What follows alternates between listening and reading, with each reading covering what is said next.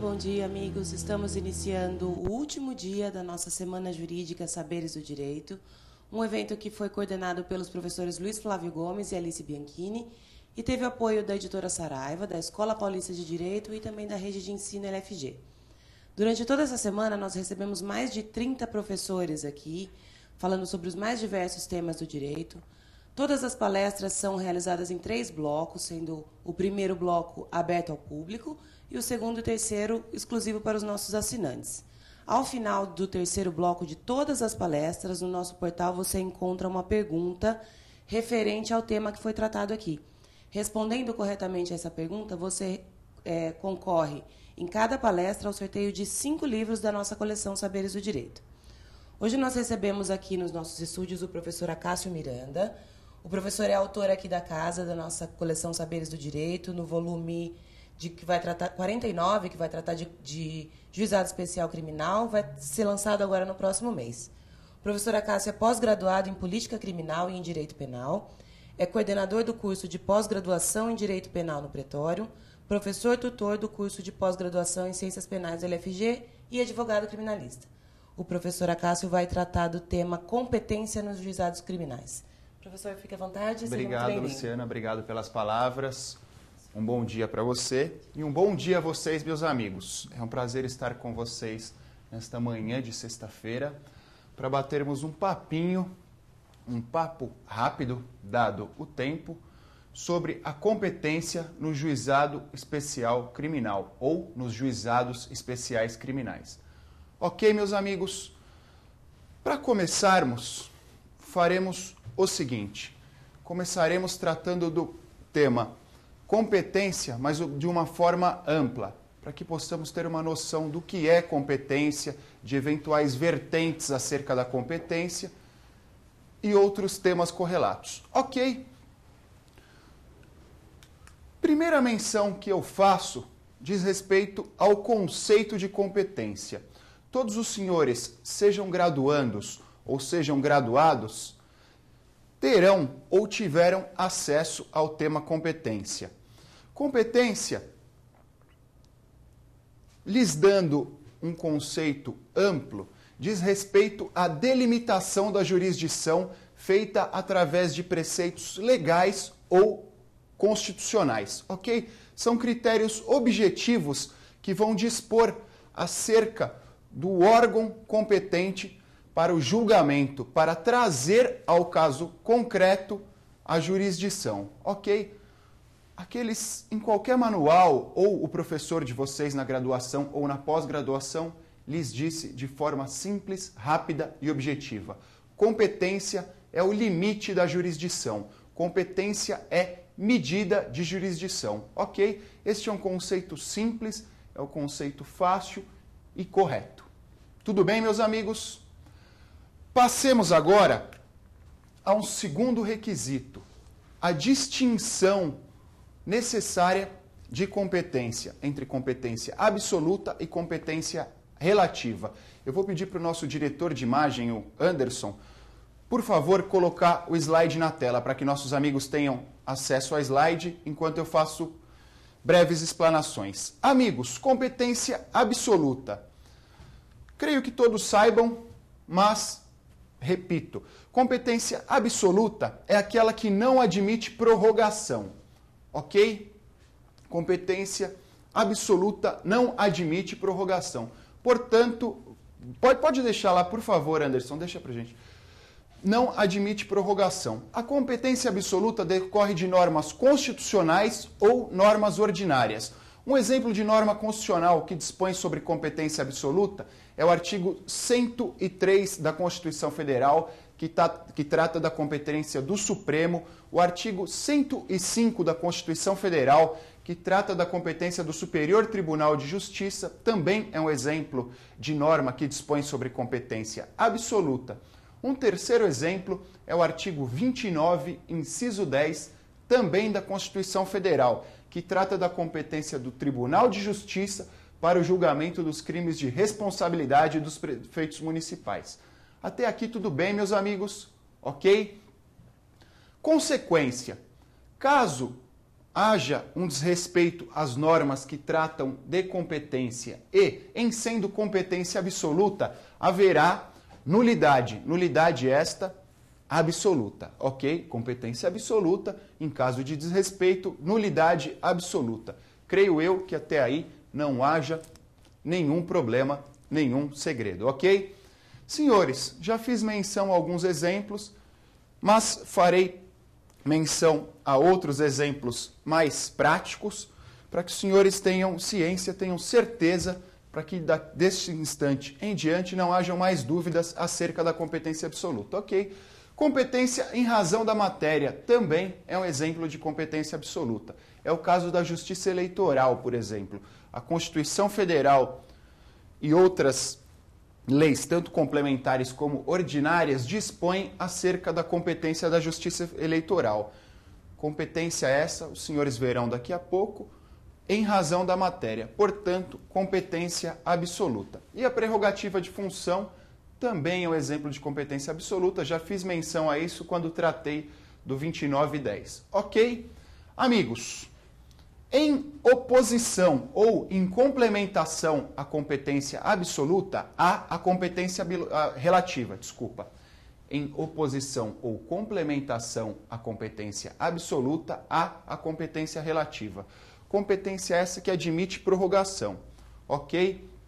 Caso um juiz que não seja o competente, os senhores verão essas circunstâncias daqui a pouco mas caso um outro juiz pratique qualquer ato jurisdicional naquela ação, a competência será prorrogada, óbvio, respeitadas determinadas circunstâncias.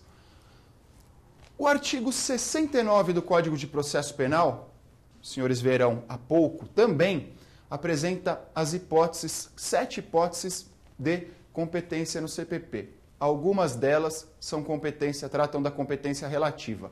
É o caso do inciso 2, que trata do domicílio do réu. Ok, então a competência relativa, mencionei o Código de Processo Penal, decorre de normas ordinárias. Já mencionei que, em caso de desrespeito, haverá prorrogação de competência. Ok, meus amigos? Por favor, volta a câmera, Anderson, e passemos ao próximo.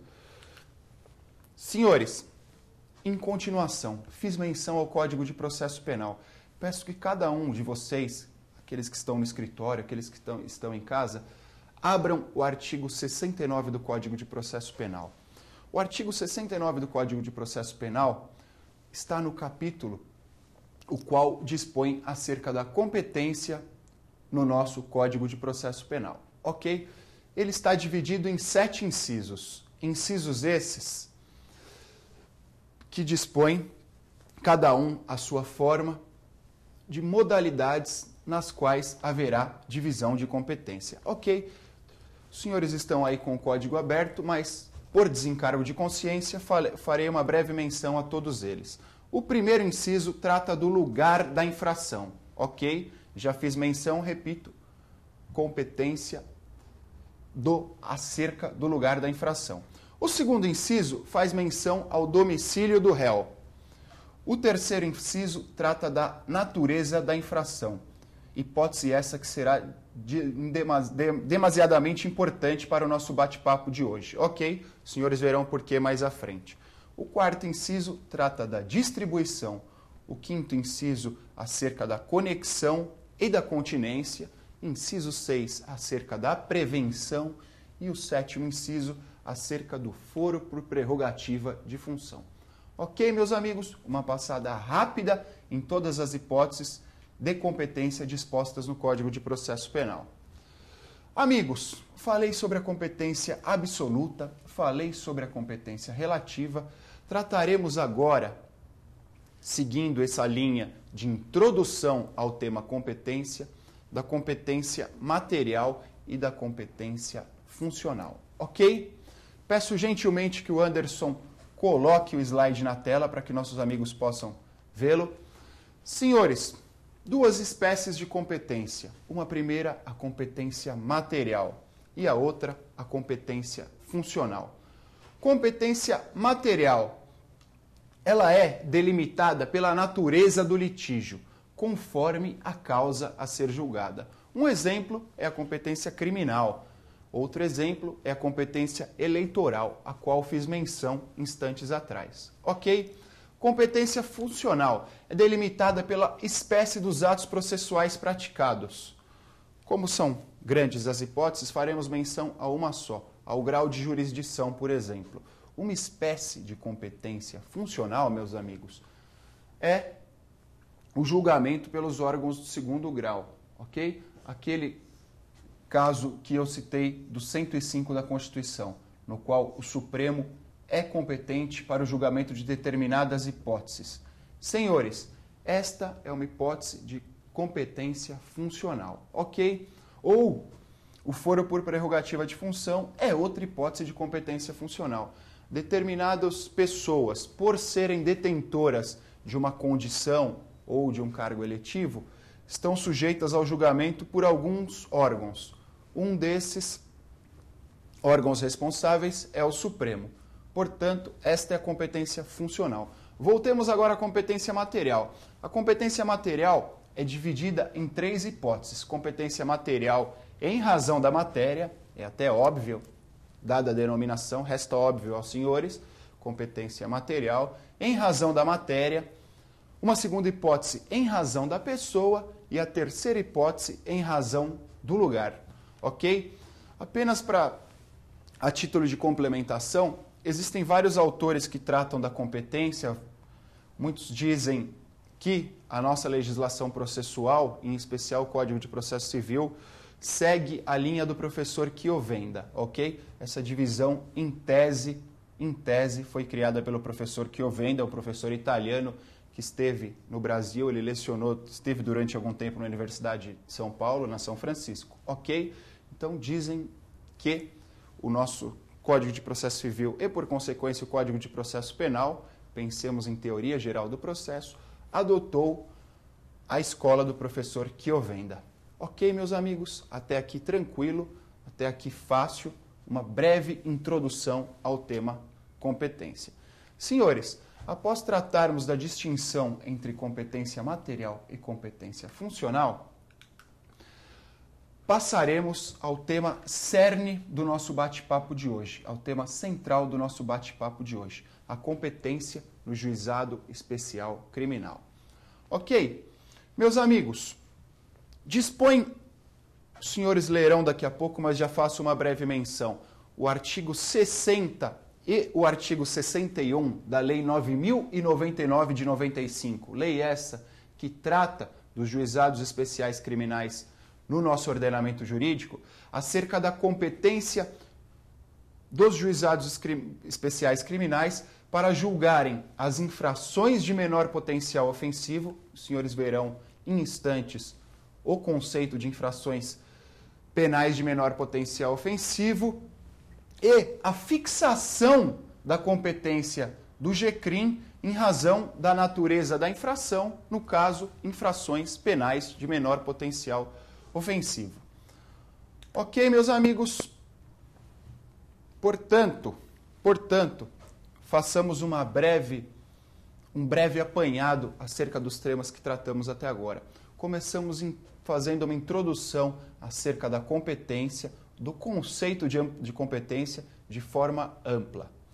Tratamos a competência no Código de Processo Penal e fizemos uma breve introdução acerca da competência também, de modo, de modo célere, de modo objetivo, na Constituição Federal.